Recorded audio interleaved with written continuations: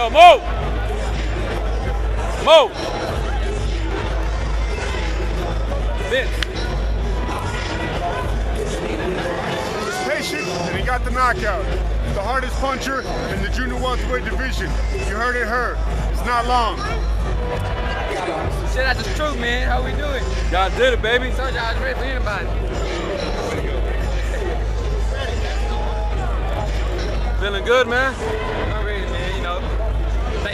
they. Here we go.